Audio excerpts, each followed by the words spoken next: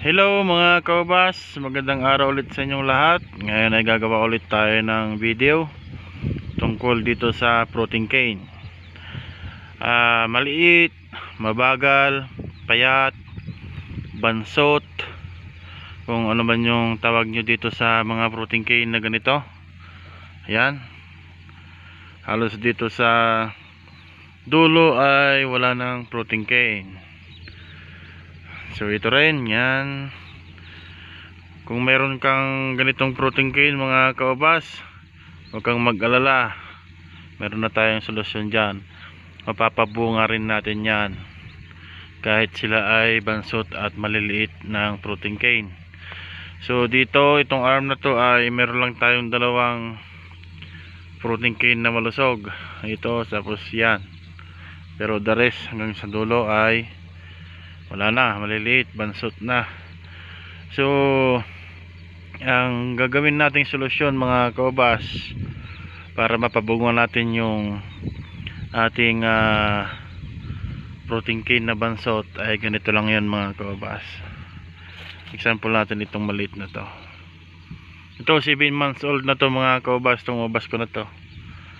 Napabayaan ko to kaya maliit yung kanyang mga protein cane dahil uh, halos dalawang buwan na walang management ito. Karoon na siya ng fungus.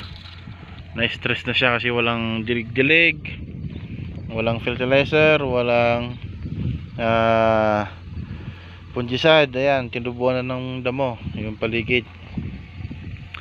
Kaya maliliit bansot yung kanyang mga protein cane. Hindi na nag alagaan hindi na nagtuloy-tuloy na lumaki yung kanyang mga protein cane. So balik tayo sa ating traffic ito. Ang gagawin natin dito mga kaubas para mapabungan rin para mapabungan natin ito kahit maliit o bansot man yung kanyang mga protein cane. Kasi kailangan ito sana ay malusog itong protein cane maging matured pencil size para mapabungan natin. Pero ito 7 months old na ganito pa rin kalaki yung kanyang protein cane.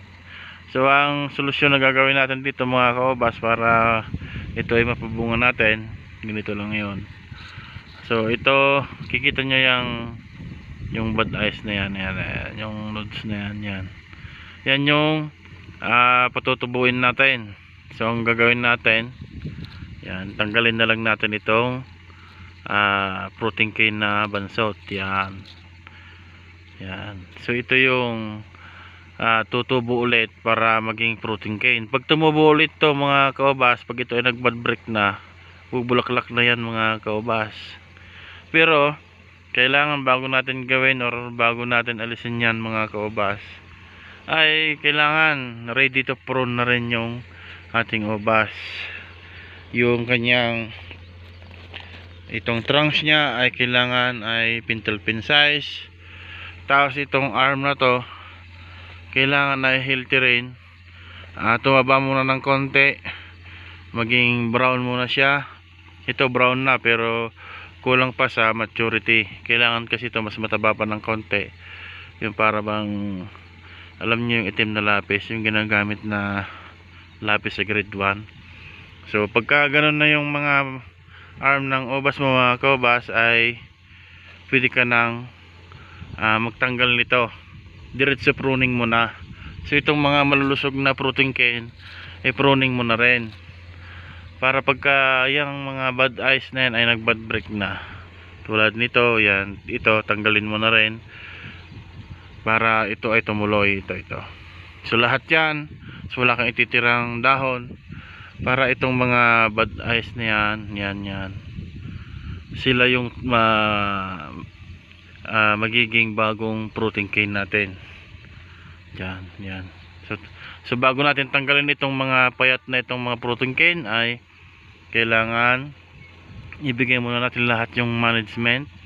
Mag apply tayo ng fertilizer tamang patubig uh, para tumaba yung kanyang uh, trunks at mga arm bago natin gawin yan. So meron akong papakitang example mga kaobas para may proof tayo na uh,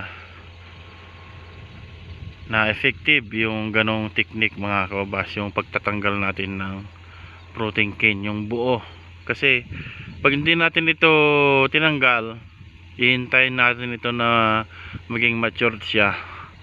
Nako matagal yan mga kababas matagal lang abutin niya bago yan lumaki at pag pinilit natin ito na prenuning kunwari dahil nga sa payat siya dito natin siya pinutol. Isa lang na nodes yung tinira natin.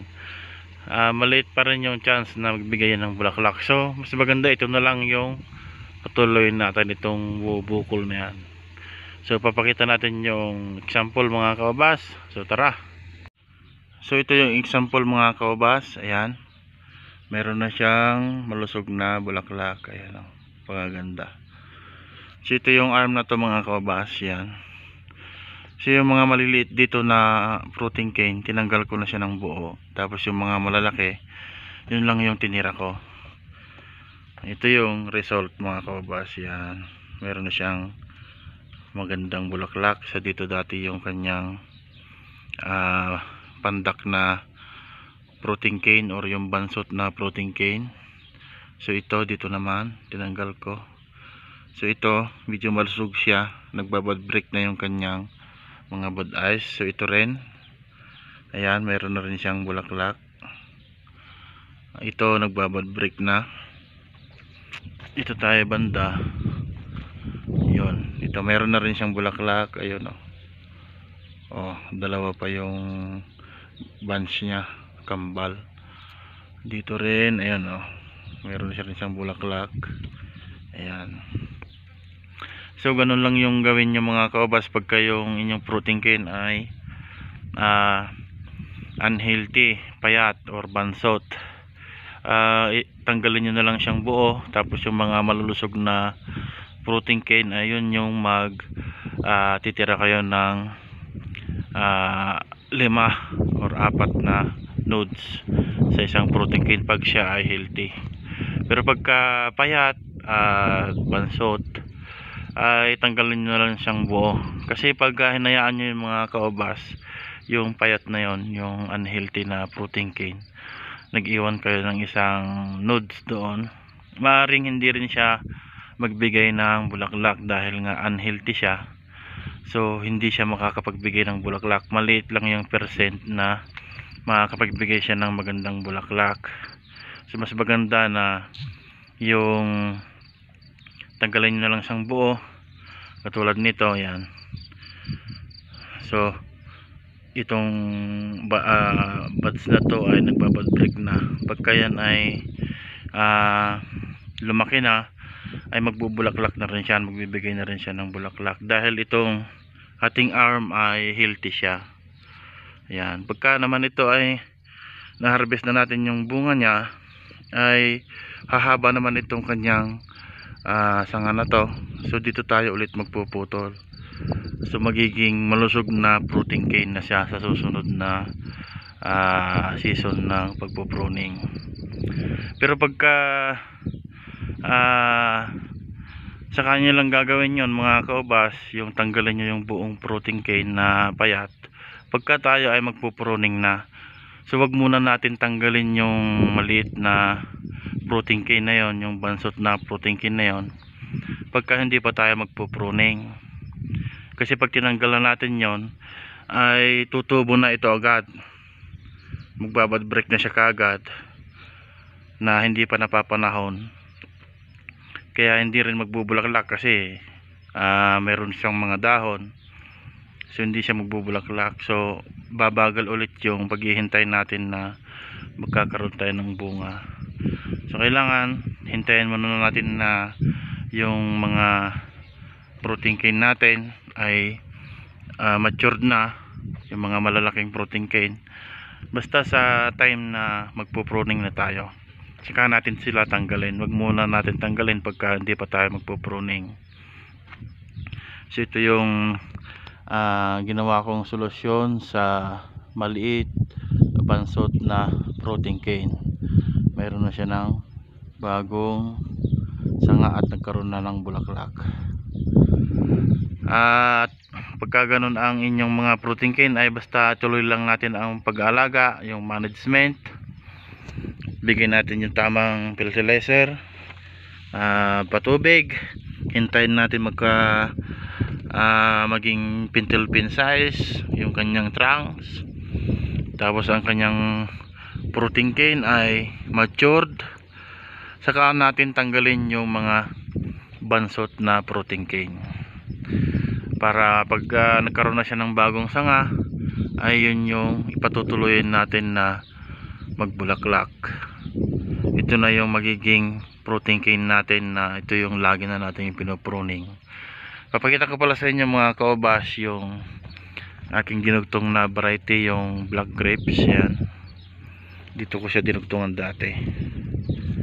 So lahat ng kanyang tumubong bagong sanga mayroon siyang bulaklak ayun ang ganda. Ayan oh. Yun oh para siyang gulay oh. Ayan hanggang doon. So napakaganda pala nitong variety na to mga kaobas. Oh. Pero mo yan oh. Yan 1, 2, 3, 4 ganyan. Ganda mga kaobas. So hanggang dito lang muna mga kaubas yung aking video. Maraming salamat sa inyo. Sana inaunawaan nyo yung aking ginawang video tungkol dun sa bansot, maliit, mabagal lumaki, ah, payat, kung ano bang tawag sa protein cane na yun, unhealthy. Natanggalin na lang natin na buo para magtuloy yung bagong nodes na magiging bagong sanga natin nagagawing protein cane so hanggang doon lang mga kabas maraming salamat ulit sa inyo. Bye bye paalam sa inyong lahat. Sa ulitin ulit.